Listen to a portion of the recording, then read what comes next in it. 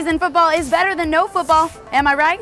I'm Sammi Jo Francis with this week's Charlotte Insider. I'm hanging out at Bank of America Stadium where the 2013 preseason starts this Friday when the Panthers take on the Bears. But first, restaurants fighting back against customers that dine and then dash. It's an old prank that has gotten very serious for some uptown Charlotte restaurants. But now those restaurants are taking charge by taking your card before you make your order. The waitstaff loves it. No more having to pay for stolen meals. It's like I'm working for you to drink and eat for free. Awesome. Mortimer staff at the Epicentre say most customers get it and give up their cards. Some say it's not fair. Late night comedians having a field day with North Carolina lawmakers. Last week it was Stephen Colbert. This week, The Daily Show. After a North Carolina legislative session like this, I think the big takeaway here might be your move, South Carolina. You thought you had craziest Carolina all sewn up, didn't you? With your runaway governors. You may be about to lose the war of northern regression. The controversial abortion and voter ID bills have been the focus of protests across the state. JetBlue, the coach-only airline that flies out of Charlotte, is now offering a first-class section with seats that recline completely. Some will even have a wall that would create your own suite. The new first-class seats will be available on cross-country flights. I'm hanging out at Bank of America Stadium where the Carolina Panthers host the Chicago Bears this Friday. They've got some new security measures in place to keep you safe. Trust me, you need to know these.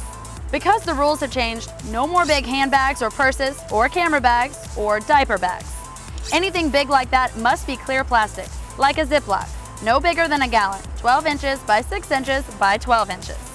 The new system got its first test last weekend in Canton, Ohio. The NFL says most fans were aware of the changes, and now you are too. By the way, you may have seen Jackass star Johnny Knoxville hanging out in Charlotte the past several months.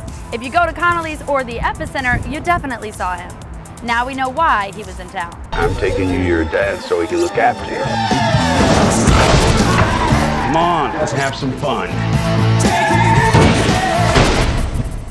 You're gonna fix that penguin, bro. Nope. Knoxville shot the movie Bad Grandpa here in Charlotte. The movie involves Knoxville, in character, taking his grandson on a cross-country trip. Thing is, only he and the boy are in on the joke. Bad Grandpa opens in a theater near you October 25th. The weekend's almost here. Let's check out what's going on in your city. You know him from the show Whitney. Comedian Chris D'Elia is at the Comedy Zone all weekend.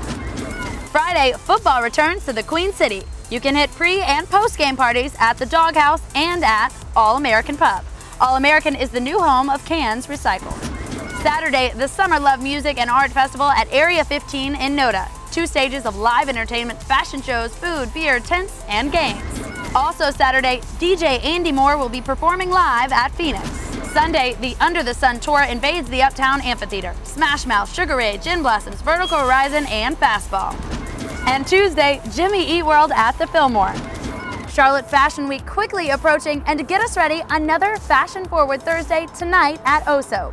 Rita Miles stopped by to tell us a little more about it. Charlotte Scene is bringing you a avant-garde, wonderful exposure of hair, a hair show. It's brought to you by Paul Mitchell, and uh, they actually the influence and the inspiration is from Paris. As for this weekend, a big storm system is just hanging over the southeast. Shocker. It's going to bring us some rain. Be ready for that. Well, our tailgate is over. We'll see you Friday at the game. Join us every Thursday on WBTV.com. Follow us on Twitter at CLT Insider. Keep up with us, and we'll keep you up with Charlotte. I'm Sammi Jo Francis. Have a great weekend.